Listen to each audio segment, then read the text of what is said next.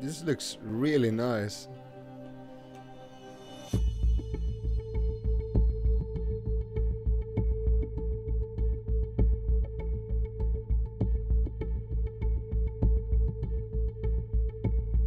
Um, hello?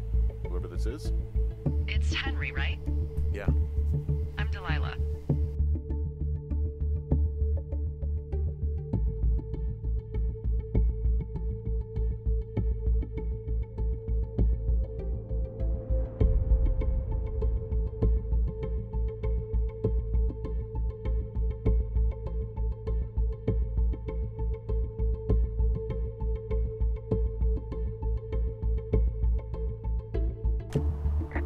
There's some guy out here giving me the creeps.